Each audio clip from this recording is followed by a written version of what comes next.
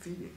It has both, both uh, not only verb I feel, but also the cognitive sense of a sense. You know, I have a feeling this is about this or that. You mean it's rational.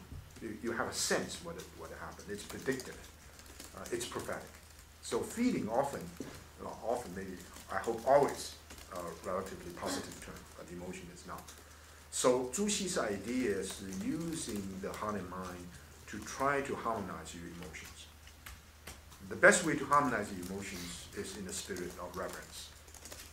And so don't worry about trying to find the state of mind between, you know, before feelings are aroused. And so he inadvertently deviated from the Mencius point of view. And of course, he never recognized his Xunzi. So he said, this is Mencius. And many of his disciples just accepted, that's Mencius. That's why he misinterpreted, you know, in a curious way, misinterpreted some of the very key uh, statements in Mencius. And most of the people accepted his misinterpretation as correct. Uh, there was one, uh, one scholar of his contemporary, we not get a chance to talk about it, by the name of Lu, L-U. And he said Zhu Xi didn't get it right. And uh, Zhu Xi didn't quite understand what uh, uh Mencius is talking about. So after, after the spring break, we're going to deal with uh, a very important thinker uh, by the name of Wang Yangming, W-A-N-G, Y-A-N-G, M-I-N-G. And this person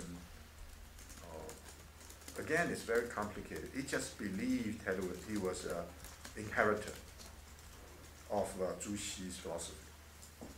And yet he also knew that Zhu Xi probably didn't get it right.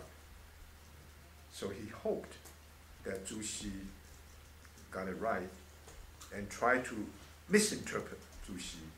And many people accepted his misinterpretation of Zhu Xi and imagine that Zhu Xi actually was an authentic follower of Mencius. You know the complexity of the situation, right? Zhu Xi, this is my interpretation, of course I may be wrong too, right? now, Zhu Xi's interpretation of Mencius deviated from the main thrust of the Mencius interpretation.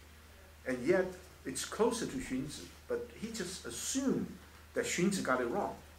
He believed that human nature is good. So he believed he was an authentic interpretation of Zhu Xi, especially his commentaries of the four books. And most of his contemporaries accepted it. And so they believed that Zhu Xi got it right. There was one guy, a longer by the name of Lu, he said this guy didn't understand Zhu Xi. And he made a claim, which again is very complicated. He said, I read Mencius, I understood and I didn't follow all these commentaries. I read Mencius and I got it right. How can you do that? 1,000 years later, right? But anyway, he made that claim, and now we know that he's probably correct. So these major thinkers, say a few hundred years later, by the name of Wang Yangming, W-A-N-G, followed Lu's critique of Zhu Xi, but he strongly believed he's a follower of Zhu Xi, because Zhu Xi was so powerful, overwhelming. If you say you're not a follower of Zhu Xi, not a strategic, you know, he just believed that Zhu Xi got it right, but somehow there's something that need to be tinkered. So he was a follower of Zhu Xi, but he knew that something wrong with Zhu Xi, and yet he refused to accept that as an inauthentic interpretation. So that, that's uh, the picture. Uh, well, let me make it uh, even more complicated. I mean, historically, it's amusing. Huh? This is what most of the scholars in China accept from Zhu Xi, challenged by Lu Xiangshan, then to Wang Yangming, this is the development of Confucian thought in terms of its, uh, we call it uh, uh, inner logic. Instead of saying this is what actually happened historically, they made a further claim, not only this was actually what actually happened historically, this was also logically ought to have happened because Zhu Xi didn't get it right, so a correction. Right? Now that's Chinese philosophy, Chinese Confucianism. Let's introduce Korean Confucianism. As you know, that the Korean Confucianists turned out to be all followers of Zhu Xi, right? And there was a great uh, Korean Confucian thinker by the name of Yi Toegye.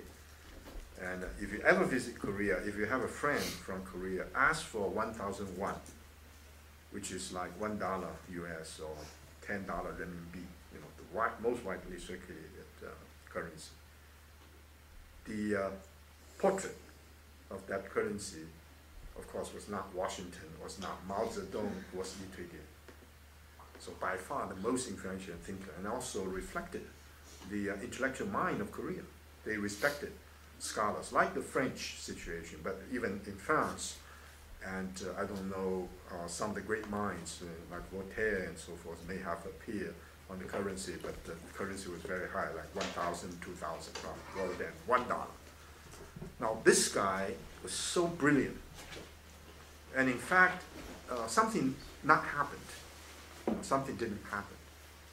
This is a counterfactual presentation. Counterfactual meaning historically didn't happen, but try to imagine if it happened.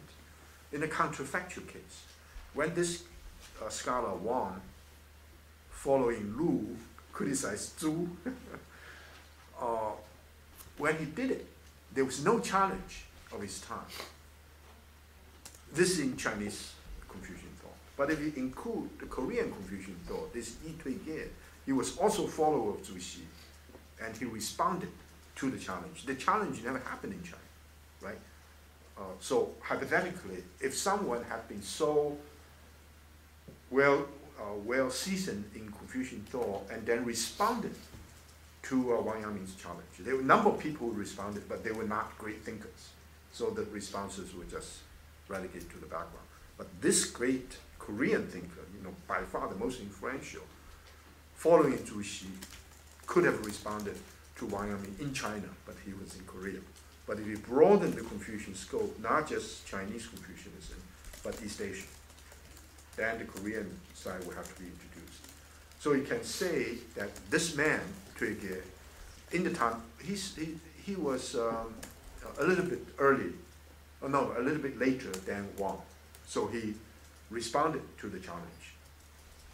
And that response based upon one very important question. This is what, what I want to end with this observation. One very, very important issue. Zhu Xi, every Confucian thinkers of the time accepted the proposition that human nature is principle. Principle, of course, uh, this one is the underlying reality of everything.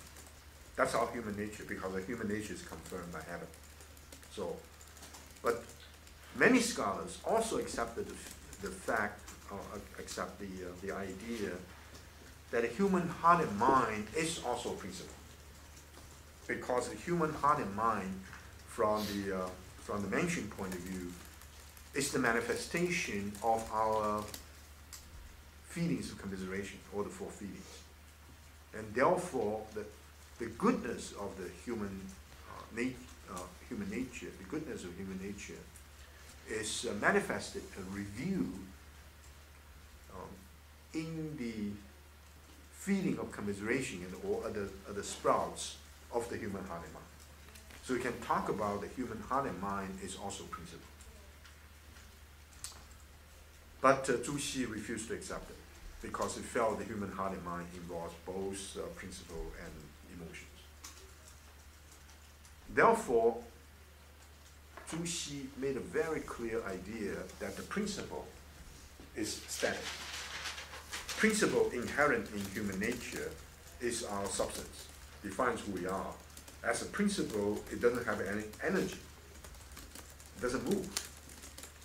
Uh, in Freudian psychology, this uh, a digression but useful. Freudian psychology, you know the difference between ego, ego and id, right? It is your instinctual demands, especially your sexual drives.